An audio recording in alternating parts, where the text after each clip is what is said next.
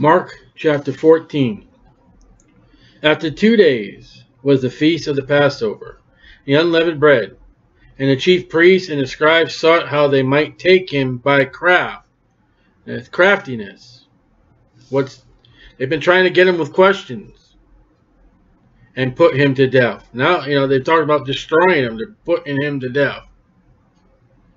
But they said, not on the feast day, lest there be an uproar of the people. And this feast is one of the three feasts that all the men, all the males would appear before the Lord. So there's a vast population of people here. We're not going to do it this time. And they're people fearers. And when you fear people rather than God, you'll do all kinds of crazy things. And being Bethany in the house of Simon the leper, as he sat at meat, there came a woman having an alabaster box of ointment of spikenard, very precious. And she broke the box and poured it on his head. The best thing that she's had. The only thing that she's had that of value. She breaks it for the Lord Jesus Christ. And there's many things spoken about in the law that were broken. They were crushed. And there were some that had indignation with within themselves they couldn't show it outward. And said, finally spoke, Why was this waste of the ointment made? For it might have been sold for more than three hundred pence, and have been given to the poor. Here's your Democrat. Give it to the poor. 300 pence, according to the Bible, in the, the Gospel, that's a, almost a year's wages. That's a lot of money she gave. She gave a year's wages to the Lord Jesus Christ. Someone speaks up and said that's a waste. What, 300 uh, pence? No. Doing it for Jesus.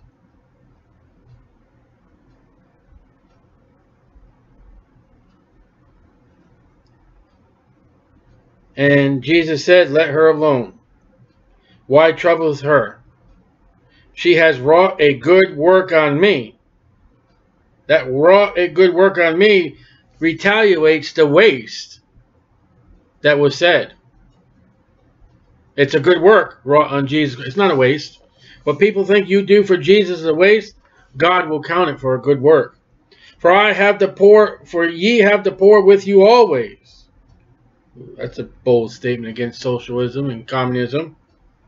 There will be always poor people. That's God who created all men. There are poor people today.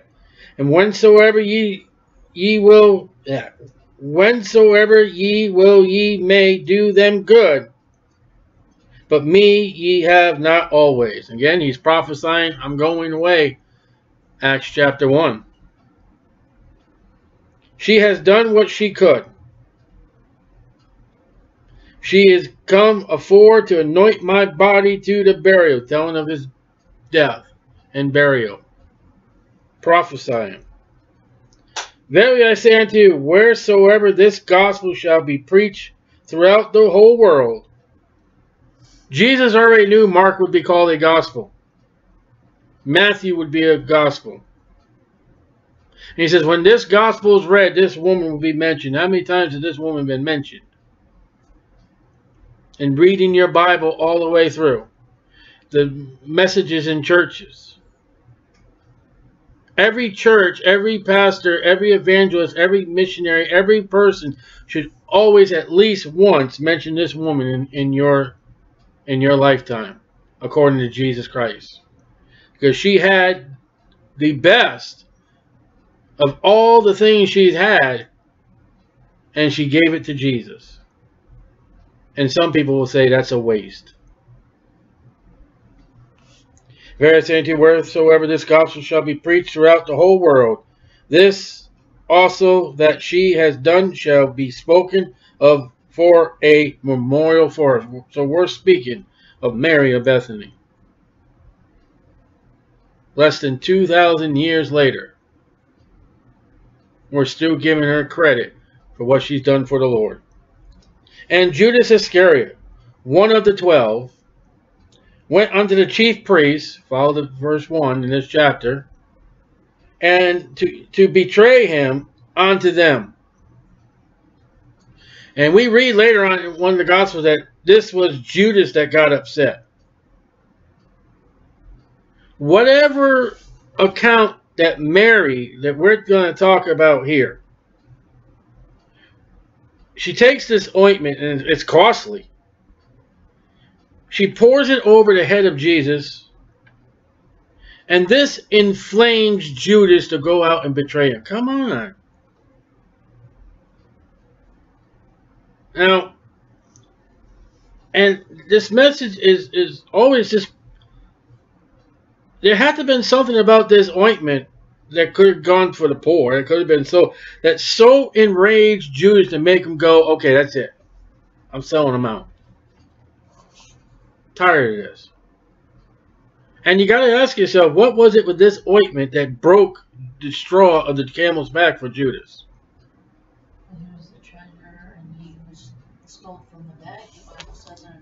Yeah, and then John says that, that exactly that. But would it really get you so angry if somebody took some? Think about a year's salary. Yeah, but I mean, for Judas, this thing inflamed him. It wasn't even his; it was hers, and she could take it and go give to the poor. How much is he giving to the poor? Nothing. This was. This is what I'm trying to say. This thing that's recorded is what inflamed Judas. What I'm thinking is that he's mad because she didn't give it to as an offering to the disciples. That could for be them. For them to sell to live on. That could be too, because they were poor. They had no place. They went about here and there. Instead of just cracking it open and dumping it on his head, that probably made him mad. Yeah. Because it was worth so much. That's a possibility. But whatever it is, and that's a great possibility. Whatever it is, complaining a couple chapters ago that they didn't have money to buy bread. yeah, They only had so many pence, and how they gonna buy so 200 pence worth of bread. and the thing, well, another, well, the story is too here. What comes up next is they've got the money because he sends them off to a man to go start, go have the feast. Yeah.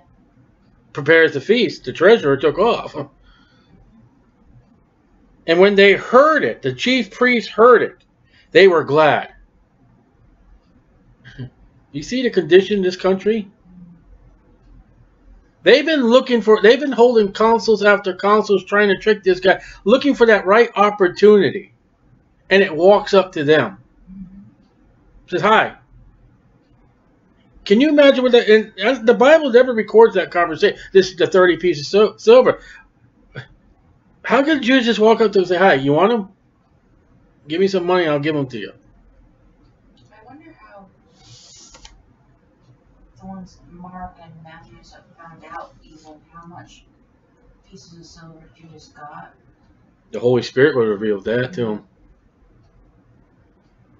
And when they heard it, they were glad and promised to give him money. He sought how he might conveniently, that's a, that's a modern word, betray him. So it's not right now, it's not no time. Judas has betrayed Jesus, but he doesn't know when it's going to happen yet. And then verse 1 tells it they're fearing all the people, so it has to be a time when Jesus is alone. That's kind of hard. This guy's got multitudes and multitudes of people always around him. In the first day of unleavened bread, when they killed the Passover, his disciples said unto him, Where wilt thou where wilt thou that we go and prepare that thou mayest eat the Passover? This is a Jewish feast, this is a Jewish time, Lord, we gotta go. And he sendeth forth two of his disciples, doesn't say who, and saith unto them, Go ye into the city, Jerusalem, and there shall meet you a man bearing a pitcher of water, follow him. Jesus leaves us great details. There's there's there's a, a colt. It's over by two ways. The men are going to stop you. You're going to say, What are you doing? And wheresoever he shall go in, say ye to the good man of the house. There's a man bearing a pitcher of water. Just follow him till, you, till he gets in the house, then speak. The master, there he goes that word again. Remember Mark is about the servant? Yeah, Jesus told him to say the master. Yeah, but look at that word show up in Mark about the servant.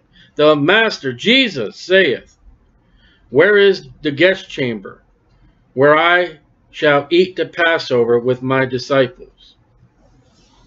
And he will show you a large upper room furnished and prepared. There make ready for us. It's all prepared. It's the busiest time of the year for Jerusalem.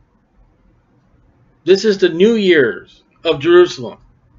This is the this is the time that Israel came out of Exodus.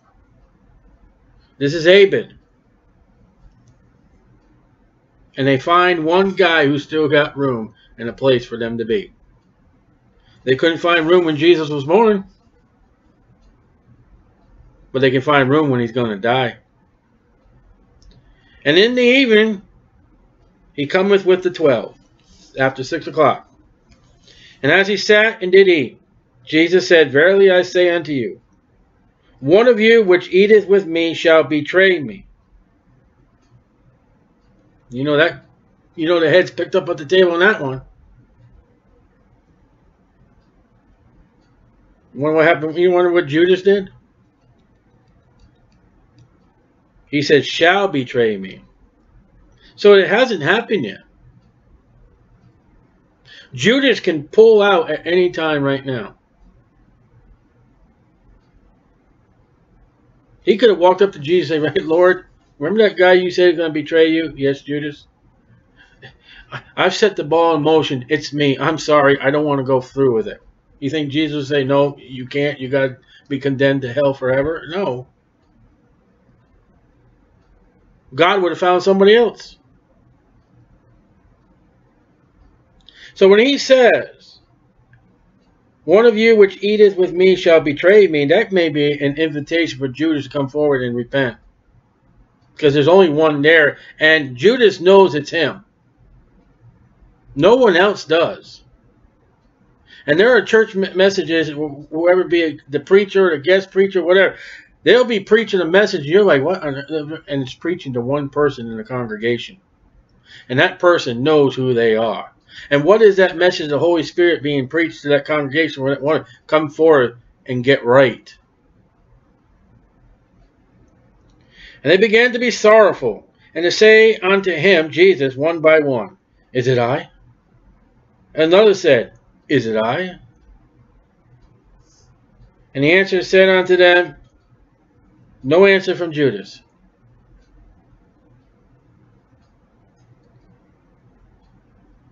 It is one of the twelve. One of the twelve. Every time Judas is mentioned, one of the twelve. One of the twelve. One in twelve is thirteen. One of the twelve that dippeth with me in the dish. That would be the sop he mentions. He's now, he has given Judas, verse 18, a chance to repent. He is now giving warning to Judas before judgment will fall upon him.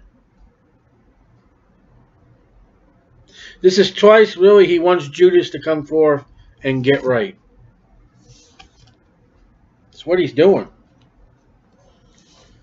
Remember Naboth when he had the gold and the Babylonian garment? You know how many different relatives they went through before it came to you know anytime because was it was it Judah whatever whatever tribe he was okay this tribe could say, hey, wait a minute, just stop this. It's my fault. I did it. And God would have done something for him to repent and get right. No, this family, this family, this family.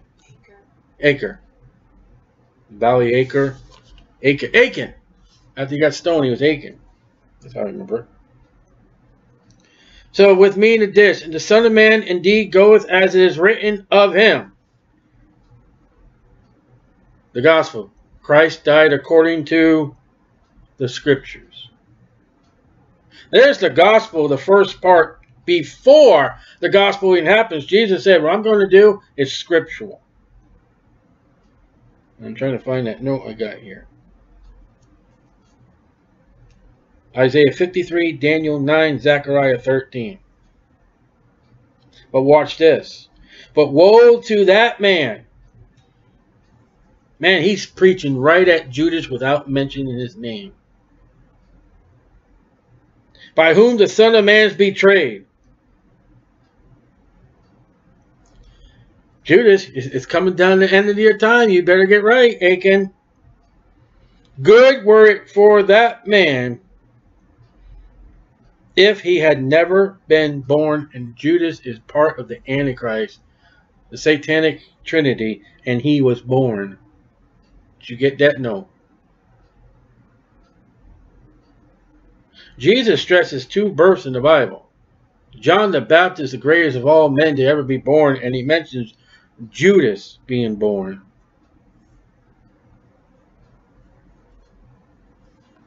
And as they did eat, no repentance. No one came forward.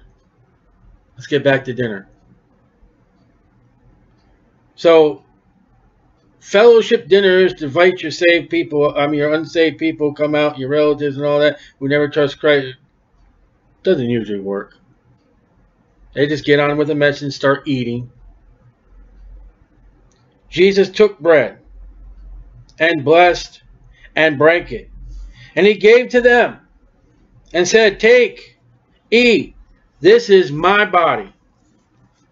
Now that was literal. You know right there, 22.2, Peter was spoken up. Say, hey, that ain't your body. They know it's symbolic. They've been following Jesus for 14 chapters with parable, with types, with similitudes. The sower goes out and soweth the seed, or sees the word. The tares are the, uh, the, the unsaved in the world. The enemy is Satan. The fire, you know. He took the cup. And when he had given thanks, he gave it unto them, and they all drank of it, the cup. He said unto them, This is the cup, this is the cup, my blood of the New Testament, death you see how many times now he has referenced the death, burial, and resurrection, and I'm going away. He doesn't say that this is the Last Supper. I know we call it that. But he's telling them. But there are other suppers. He sits down with them, has fish at the seaside. He sits down and has honeycomb with them in the other place. New Testament. You got to die to have a testament which is shed for many. So this is not the New Testament yet, according to Mark 14. The Gospels are not the New Testament until after Christ dies. Then that begins the New Testament. A lawyer would have a field day. You call Matthew, Mark, Luke, and John a a God uh, a New Testament. They could take you to court and they can fight and win in a courtroom. That testament begins after the death of somebody. Matthew, Mark, and Luke, and John is a biography, the life of Jesus Christ. With the final chapters, the death, burial, and resurrection of Jesus Christ.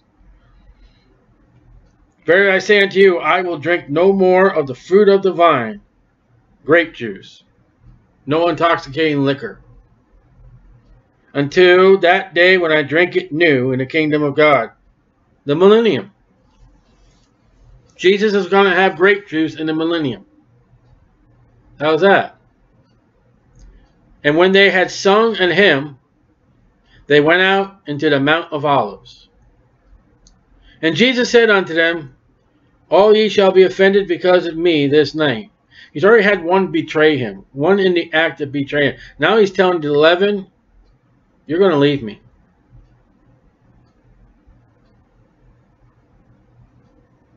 For it is written, Christ died for our sins according to the scriptures. I will smite the shepherd, and the sheep shall be scattered. Another scripture. But after that,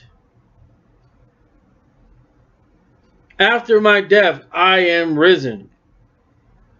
Notice the present tense, though he has not died and he has not risen. I am risen. I will go before you in, into Galilee. I'll, I'll, when, I, when I die and come back to life, I'll be there for you. And I believe that's what the angels tell Mary. Go tell him, and before you even get there, he'll show up for you. But Peter said unto him, Although all shall be offended, yet will not I. Brave Peter. He loves the Lord. Jesus said unto him. Now, Peter there, he's trying to defy the Bible. Because Jesus said, It is written, I will smite the shepherd, and the sheep shall be scattered. And Peter steps up and says, Oh, no, no, no, I'm going to break the scripture. Peter, you can't break the scripture. It says you're going to be scattered. And when it says you're going to be scattered, you'll be scattered. I don't care what you say. It's got to be fulfilled. Verily I say unto you that this day, even in this night, all before 6 a.m.,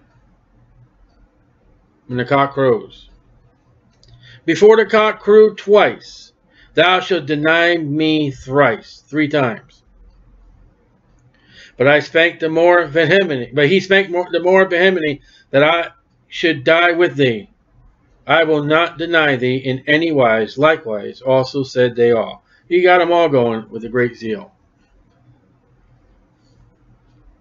Sometimes open your mouth will, will cause others to follow, and it's not the proper thing to do.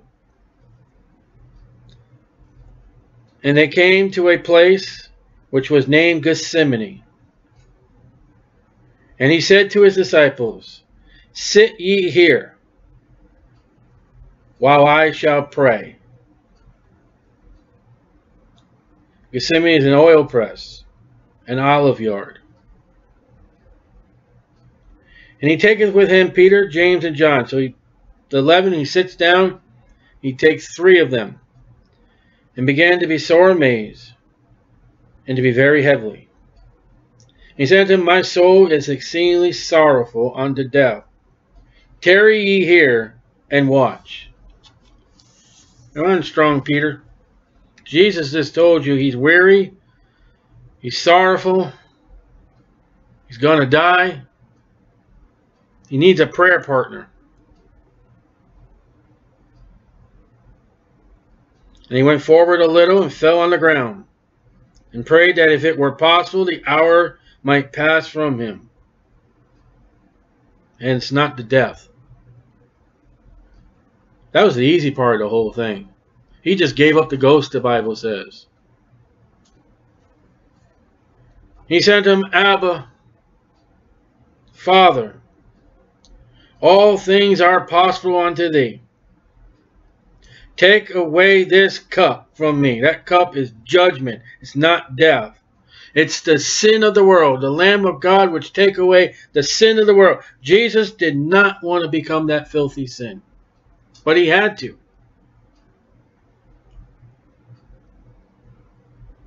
Because if he didn't take that sin and just died to die, we wouldn't be saved. The prayer that he prays to his Father is to us, it's the sin that I took, not just the death.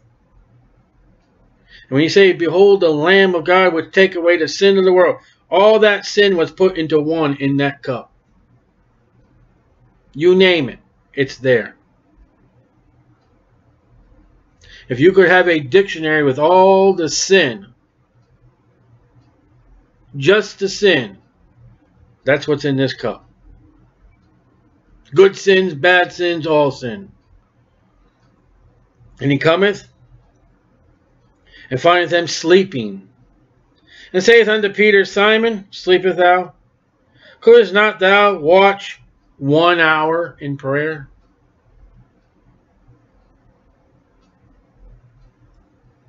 Watch ye and pray, lest ye enter into temptation. The spirit truly is ready, but the flesh is weak. Again he went away and prayed and spake the same words. And when he returned, he found them asleep again, for their eyes were heavy. Neither wist they what to answer him. can't foot in the mouth, they're half asleep. They don't even know what to Even Peter can't have nothing to say in this one. Mark the words here. Peter had nothing to say here.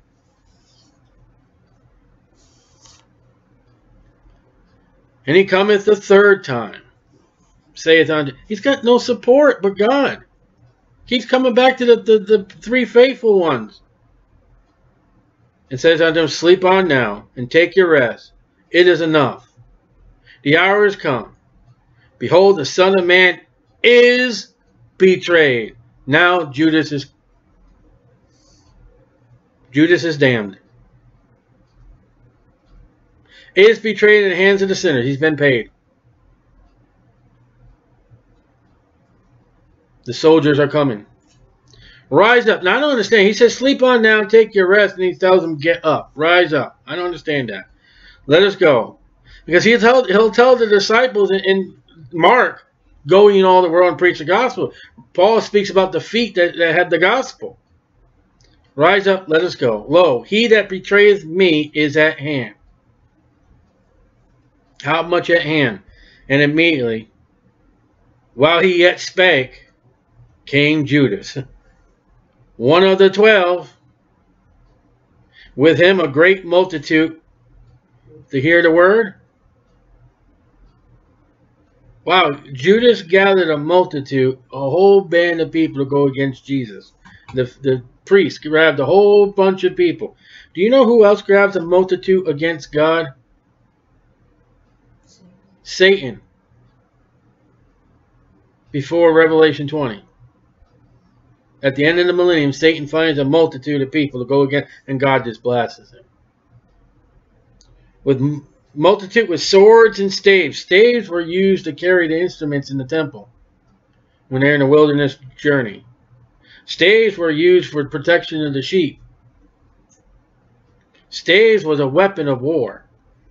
From the chief priests and the scribes and the elders. The organization that God set up through Moses are standing there with their troops, now going to arrest God and put him to death. And he that betrayed him had given them a token, saying, Whomsoever I shall kiss, that same is he. Take him and lead him away safely. There's a possibility that Judas did not know what was going to happen. Because he wants Jesus to be saved. He may be thinking, you know, they're just going to put him in jail and ship him off somewhere and get him out of the area.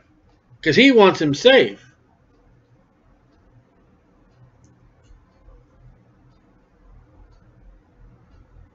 I was going to say something. I forgot what I was going to say. As soon as he was come, oh yeah, he gave him a kiss. There are no street lights. They are only using candles and whatever moon. And the first of the month is the new moon. For the Jewish calendar, I believe it's the new moon. When Jonathan and David talk about sitting at the seat. At the, it's a new moon, the first of the month. If I'm correct on that, well, if there's no moon, a new moon, there's no light from the moon. It's pitch dark. Why would Judas have to kiss Jesus? Well, they can't see him. And they don't want the, the troops to grab the wrong man. For heaven's sake, please don't grab Peter. You're going to start losing your ears. Don't hold John off because then we'll have to go find this guy again. The one that the one that I kiss, that is him. You put your arms around him. You take him, but you treat him safely. As soon as he was come, he goes straightway to him and saith, Master, look at that again. Master, look at that again. In a book about Jesus, that's a servant calling him a master and kissed him. 2 Samuel 20, verse 9. And they laid their hands on him and took him. And one of them that stood by drew a sword and smote the servant of the high priest and cut off his ear. Now remember, Mark was a book about the activities of, Jew, of Jesus and not really the words. And yet Mark takes time to record the three prayers and Mark has time to record the conversation between Jesus and Judas. And Mark doesn't even record the conversation with Jesus and Satan. In a lot of places where we were, Jesus said, you know, he just did this and then went somewhere else. didn't record the words, but Mark writes down and records the Last Supper. He records the, the three prayers in the garden. He records the words of Judas to Jesus. And Jesus answered and said unto them, Are you come out as against a thief? With swords and with staves to take me? That must be some thief. They're using swords. I was daily with you in the temple teaching, and he took me not. But the gospel, Jesus died according to the scriptures, but the scriptures must be fulfilled. Isaiah 53, verse 2 and 7. And they all forsook him and fled. Oh, there's there's the scripture fulfilled. The disciples ran. Thought you were going to stay and fight, Peter.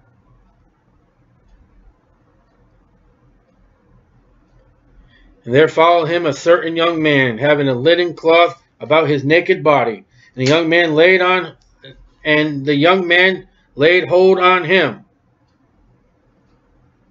And he left the linen cloth and fled from them naked. This is the only it's recorded in Mark.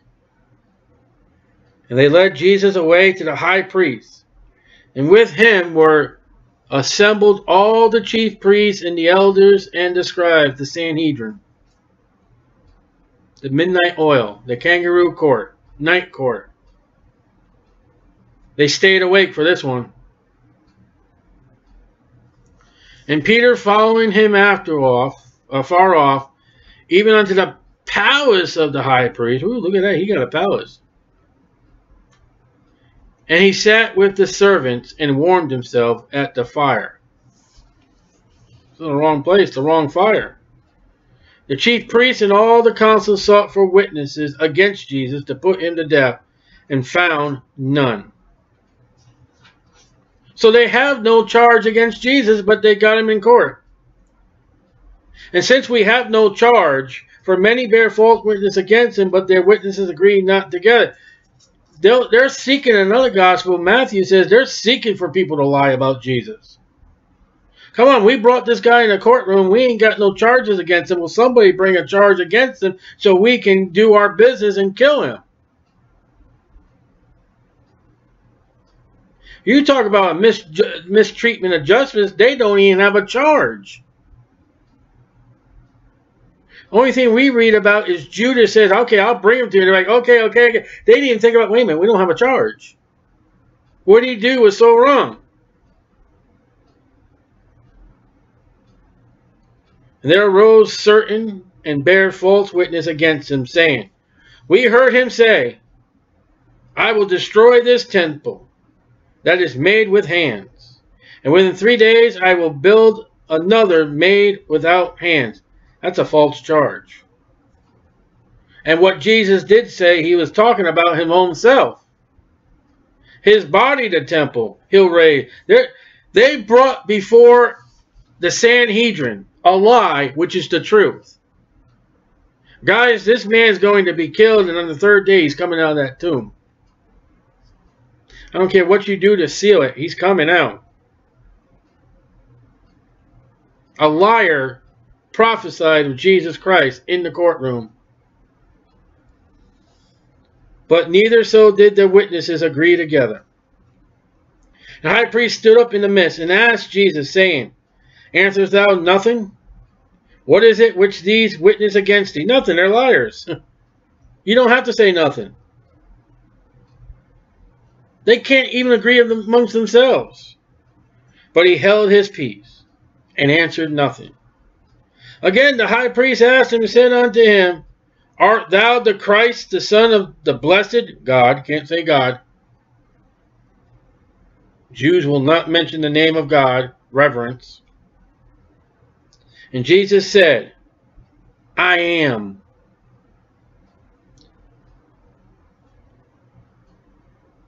On the day that God will take Israel out of the land of Exodus, the remembrance thereof, he proclaims, I am. And ye shall see the Son of Man sitting on the right hand of power, coming in the clouds of heaven. And Amos says, Woe unto you that desire the day of the Lord. What day is it? It'll be a, a cloudy day. He's referencing himself to the second advent. The high priest rent his clothes, saying, What need we any further witnesses? Yeah, you rent your clothes, Jesus will rent the, the veil. That high priest was not to rent his clothes if it was the priestly garments. And you can just see him sitting in his priestly garments up there. Look who I am. I love to go in long clothes. Then the high priest rent his clothes and said, What need we any further witnesses? What witnesses? You ain't got none. Ye have heard the blasphemy. What think ye? All right, that's the charge. There's the final charge. He has professed himself to be God. That's the charge. And according to the Old Testament law, that is a serious charge. That is blasphemy. Problem. What's the problem? He is God.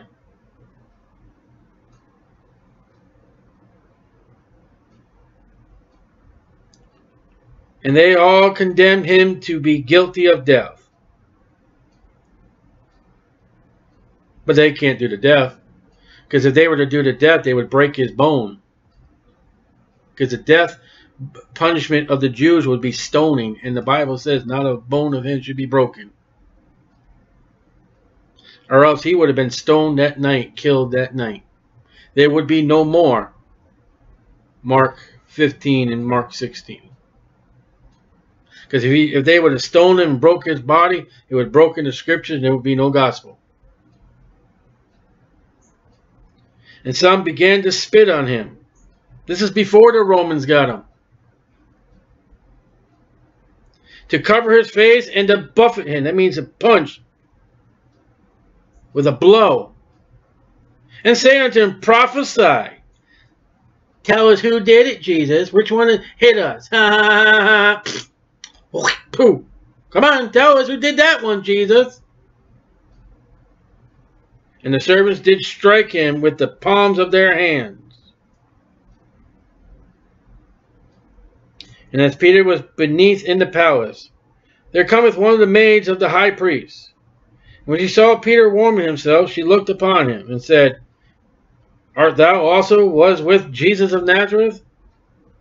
But he denied, saying, I know not, neither understand I what thou sayest. Now he's trying to say, I don't understand your language. And he went out into the porch. The cock crew. He's trying to say, you know, I need to press one. Can't understand what you're saying. And a maid saw him again and began to say to them that stood by, This is one of them. And he denied it again.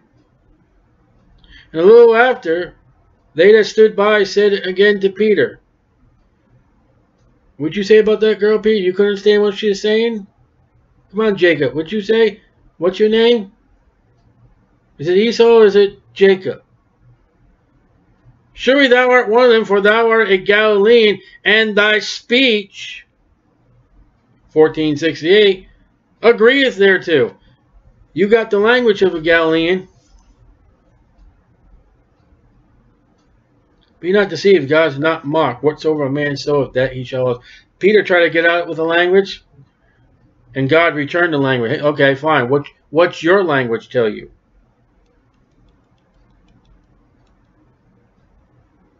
But he began to curse and to swear, saying, those words are not recorded.